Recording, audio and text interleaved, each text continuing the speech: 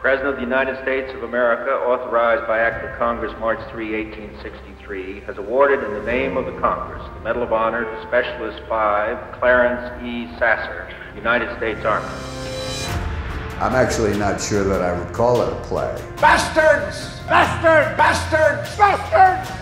It's definitely theater. Our first four months in combat, nothing but night patrol, reconnaissance. Mind you, they say blacks couldn't fight at night.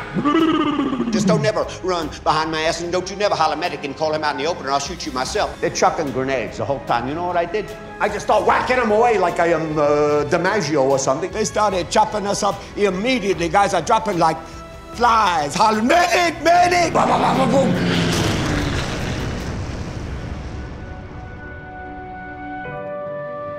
I got no hatred. War.